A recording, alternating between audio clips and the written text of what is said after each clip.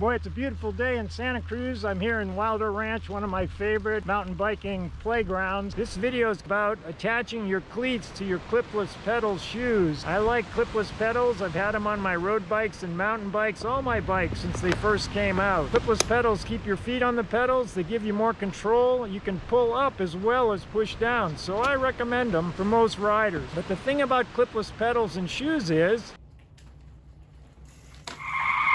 In order to get into your clipless pedals easily every time, you need to mount the cleats on the bottom of the shoes just right. That's what we're going to get into coming right up.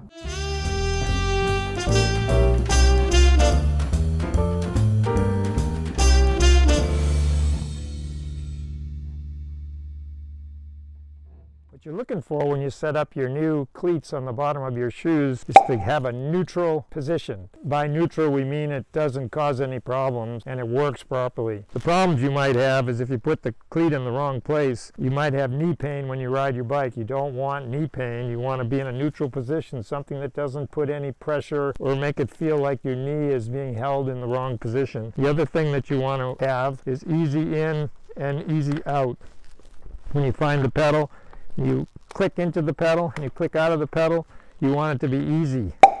If the cleat's in the wrong place, it can be harder than it needs to be to get in and out of the pedal. You never want to have trouble getting in and out of your clipless pedals. The first step is mounting the cleats to the shoes. I've got a standard road shoe, three bolt pattern, and I've got a standard mountain bike shoe with a two bolt pattern. You see four holes, but only two bolts go in the cleats which I'll show you here in a second.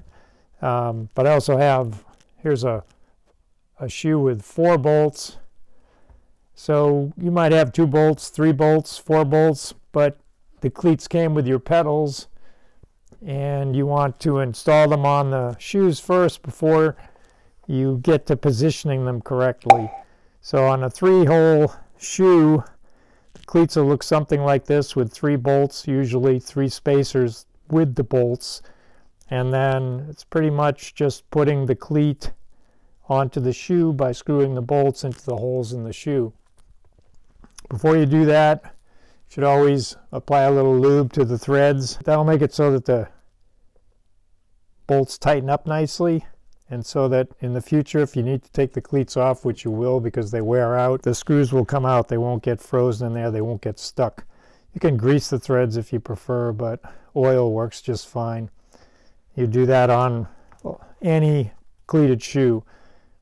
Those on this one, on the mountain bike shoe on the left, and on the road bike on the shoe on the right, road shoe on the right. And then you just install the cleats. And the cleats came with the pedals, so make sure you take all the parts out, look at it carefully, and make sure you're assembling it correctly.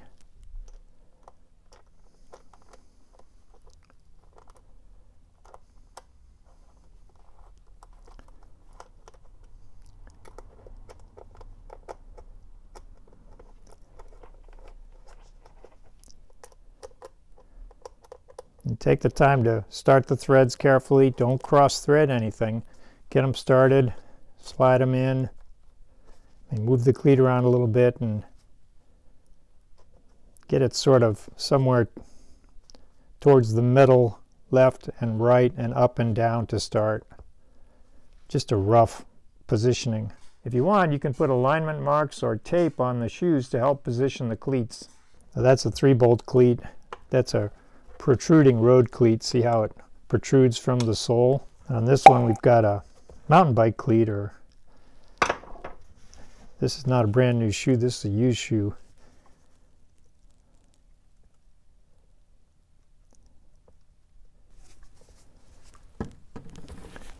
Start by putting it in the front holes of this little movable piece in here. Sometimes on new shoes, these little pieces in the shoe will get will be stuck. They'll be basically glued in place at the factory.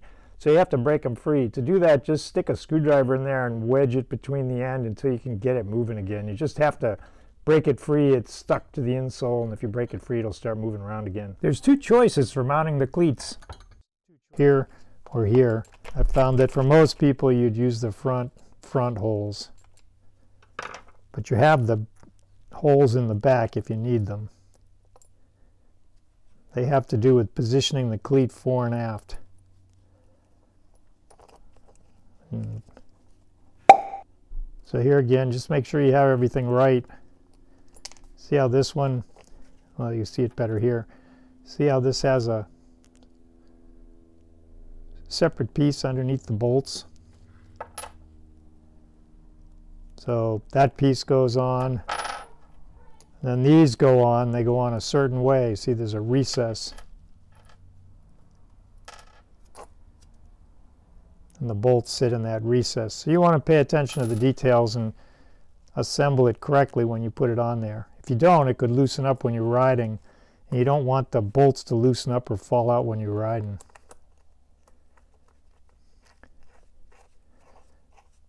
So just like the road cleat, get this towards the middle I'm just looking at the gap.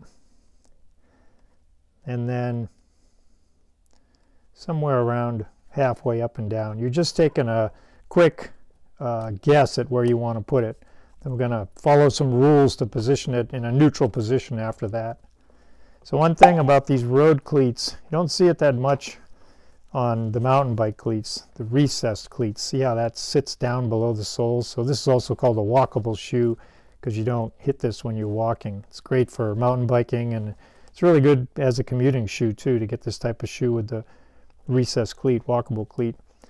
So the one thing that can happen with these bolts, even though they come standard size in the with the pedals, you can end up, like I did on this shoe, where I had to replace one of the screws. So you see these are the two screws that came with the kit and then I had to find another screw for this position. And the reason for that is sometimes, it's going to be hard to show you this inside the shoe, but sometimes if the screw's too long, it can stick up inside the shoe, create, well, you, you wouldn't actually see the, you wouldn't actually see the bolt inside the shoe, but it creates a hard spot in the shoe. And when you're riding, it feels awful. That screw is sticking through and poking you right in the foot. So when you push these, when you tighten these screws up on the bottom of the shoe, when you tighten up these cleat screws, if you put your finger in there and feel as you tighten the screws, you'll feel if the screw's too long and it's poking through on the inside of the shoe. You don't want that to happen. If it does happen, do what I did and get yourself a shorter screw so it doesn't stick through on the inside. Once you've got the cleats installed on the bottom of the shoes, you think you have them somewhere reasonable in terms of somewhat centered fore and aft, somewhat centered side to side. Just tighten them up so that they'll stay put. Because for the next step, you're going to try them out. And you don't want them moving when you get into the pedal and try to get out of the pedal because they'll make it harder to get in and to get out.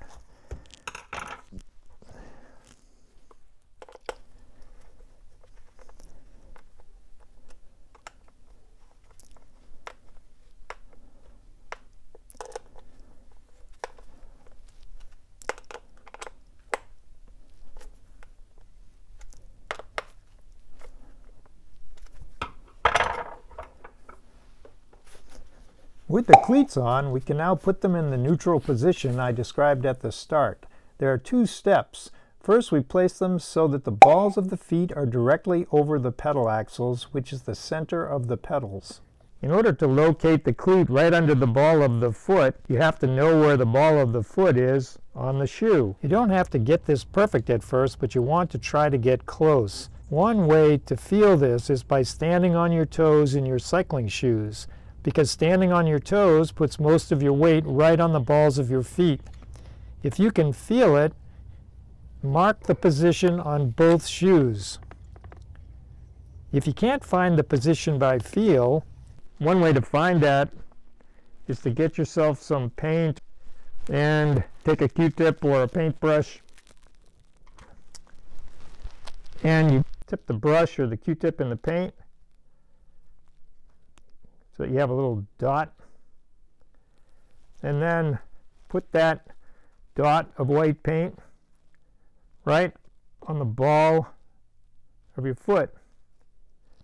Then quickly, before the paint dries, open the shoe up completely and put the shoe on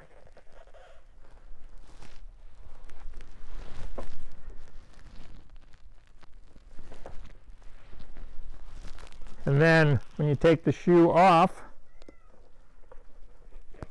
I could show you, take it out, and you have a transfer of the ball of the foot on the shoe. Well, you have it on the insole on the shoe. You can open this shoe up and look inside it and pretty easily see the mark to reference it when you set the position of the cleat. But some shoes are hard to open. So you can also use the mark inside the shoe to make a mark outside the shoe, which will be easier to see. Just look at the mark inside the shoe and then carefully line up your mark on the outside of the shoe with the mark on the inside of the shoe. And you'll have that visible for positioning the cleats in the next step. Now that you marked the shoes, you can fine-tune and finalize your cleat position. It's almost ride time. To do this, click one shoe at a time into its pedal by hand. Rotate the crank so the pedal is fully forward and the shoe and crank are horizontal and next to each other. Now holding the shoe and crank level like this, look at your marks, whether they're inside or outside of the shoes, and make sure the marks are now centered over the pedal axles. If not, note whether the cleat needs to move to the front or to the back and by how much so you can make this adjustment in the next step. Most clipless systems include some float that lets the shoe move slightly so that you will automatically find a natural angle to hold your feet when pedaling. However, it's important to get the cleats close to the right angle when mounting them. Looking down again like you did before, now make sure there's clearance for the front of your foot. It shouldn't ever rub the crank. If it does, you'll need to move the cleat in toward the crank. Next, look at the back of the foot to check your cleat angle. A good neutral starting position that works for most riders places the cleats so that there is space between the heels of the shoe and the crank arms that's about 3 quarters of an inch. 2 centimeters, or about the width of an average man's index finger. If the cleat angle needs adjusting, note which direction the heel of the shoe needs to move, in or out, and by how much. A good idea is to put directional marks on the shoes so when you adjust the cleat position you can see which way to move it. Now you just have to fine tune the cleats to get the fore aft and angle adjustments right. I'm working on the red shoe because the black shoe was perfect. Loosen the bolts, move the cleat to the correct position, then tighten it again.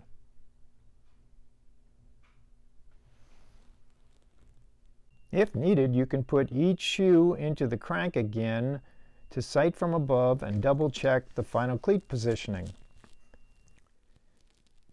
When you think you have the cleats right, go for a test ride.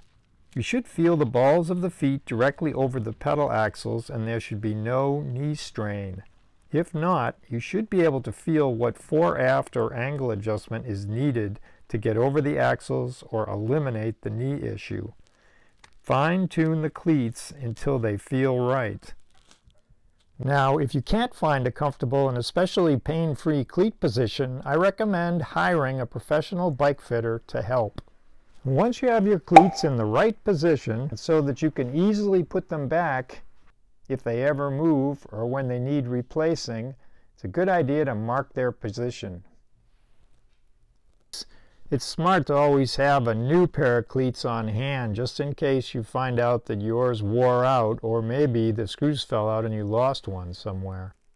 Speaking of worn out cleats, to make road ones last much longer, you can get rubber cleat covers. You carry them in your pocket or pack and slip them on for protection and traction when you have to walk. Like I said in the beginning, I really like clipless pedals, so I hope these tips help you set up your shoes and get out there enjoying your clipless pedals. If you have any questions about your cleat shoes and pedals, just ask and I'll be happy to help. Or if you've got some favorite clipless pedal or cleat tips, please share them in the comments to help everyone out.